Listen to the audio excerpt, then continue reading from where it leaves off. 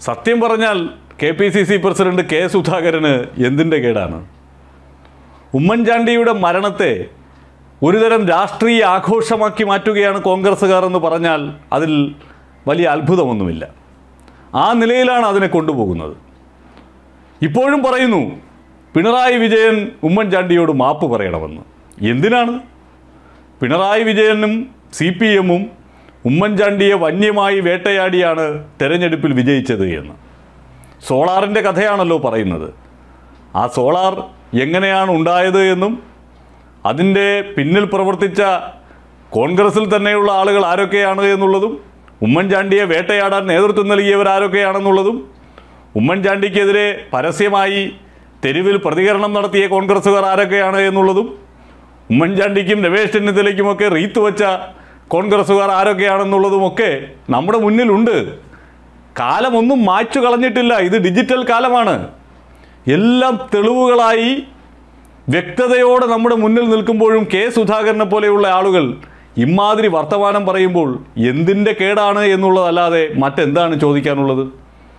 ഉമ്മൻചാണ്ടി ഇവിടെ ആദരസൂചകമായി മത്സരിക്കുന്ന സ്ഥലത്ത് ഈ പുതുപ്പള്ളിയിൽ ഉപതെരഞ്ഞെടുപ്പ് നടക്കുമ്പോൾ വേറെ ആരും മത്സരിക്കരുത്. ഇതൊക്കെയാണ് ഇവരുടെ മനസ്സിലിരിപ്പ്. സഹതാപത്തിനപ്പുറത്തേക്ക് ഒരു കാര്യവും കൊണ്ടുവരാൻ സാധിക്കുന്നില്ല. ഉമ്മൻചാണ്ടിയെ വച്ച് സഹതാപ തരംഗമുണ്ടാക്കിയെങ്കിലും നേട്ടമുണ്ടാക്കാനാകുമോ എന്ന് പ്രതീക്ഷിക്കുന്നു. ഒരു കെ പി സി സി പ്രസിഡന്റിനെ സംബന്ധിച്ചിടത്തോളം രാഷ്ട്രീയമായി പോരാടുന്നതിന് പകരം സഹതാപത്തിന്റെ പേരിൽ വോട്ട് നേടാൻ പോകുന്നു എന്നുള്ള ആ ഗതികേട് തന്നെ എത്രമാത്രം ഹീനമാണ് എന്ന് ആലോചിച്ച് നോക്കണം. ഇവിടെ ഉമ്മൻചാണ്ടിക്കെതിരെ രാഷ്ട്രീയമായി സ്വാഭാവികമായി ഒരു പ്രതിപക്ഷം എന്നുള്ള നിലയിൽ അന്നത്തെ ഇടതുപക്ഷത്തിന് പ്രതികരിക്കേണ്ടി വന്നിട്ടുണ്ട് അക്കാര്യത്തിലൊന്നും ഒരു സംശയവുമില്ല. ഇപ്പോൾ പിണറായി വിജയനെതിരെ ഇപ്പോൾ പ്രതിപക്ഷം എന്തെല്ലാം പറയുന്നു? എന്തെല്ലാം ആരോപണങ്ങൾ കൊണ്ടുവരുന്നു? സ്വപ്നയെയും കൊണ്ട് ബിരിയാണി ചെമ്പും ഖുറാനും ഒക്കെയായി ഏതെല്ലാം വഴിയിൽ കൂടി പാഞ്ഞു? അതിനൊക്കെ പിണറായി വിജയനോട് മാപ്പ് പറയണം എന്ന് സി പി എം പറഞ്ഞാൽ ഇടതു ഈ സുധാകരനോ യു ഡി എഫോ കേൾക്കുമോ? ഇല്ലല്ലോ.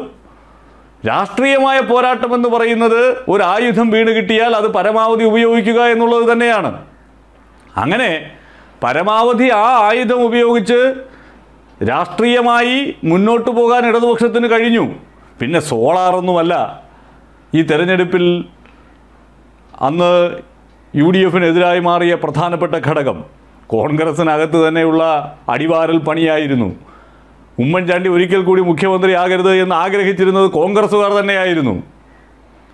അങ്ങനെ കോൺഗ്രസ്സുകാരുടെ അടിപ്പണിയിലാണ് തകർന്ന് തരിപ്പണമായി പോയത്. അല്ലാതെ നേരിയ വ്യത്യാസത്തിനൊന്നും അല്ലല്ലോ ഇടതുപക്ഷം അധികാരത്തിൽ വന്നത്.